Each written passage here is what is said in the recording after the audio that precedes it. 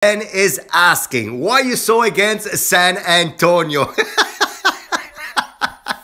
That's a good and fair question. Thank you, Ben. It's nothing against San Antonio itself. San An is a beautiful, gorgeous town, but it's about the convenience and doing Ibiza correctly. And that's why I always say, staying in Playa d'en Bossa, Figueretas, Ibiza town, that side of the island is so much more convenient. It's so much more easier than it is to stay in San Antonio.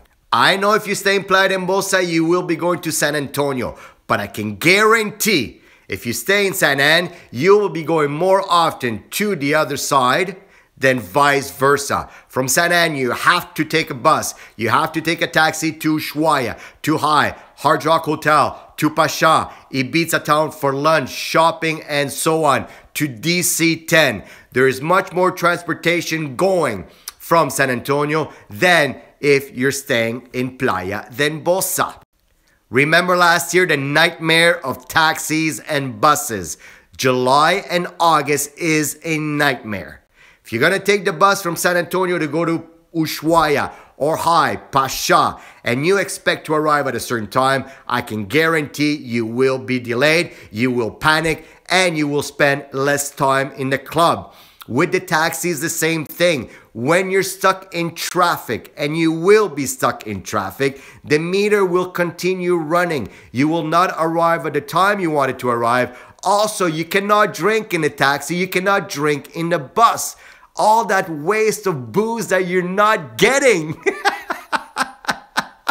I'm not trying to scare you. It's the reality of things.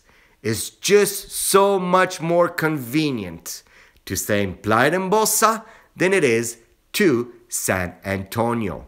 I understand you go online and you look at prices and it is cheaper in San Antonio, but at the end of your holiday, you will have spent more money, you will have spent more time traveling within than you actually saved on hotels in San Antonio.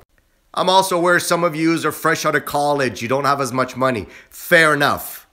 But if you're already a life experience, you have a good job, you're making good, decent money, spend that little extra to stay in Playa d'en Bossa. You will thank me later. People who have stayed in both places always stay Playa d'en Bossa is so much better.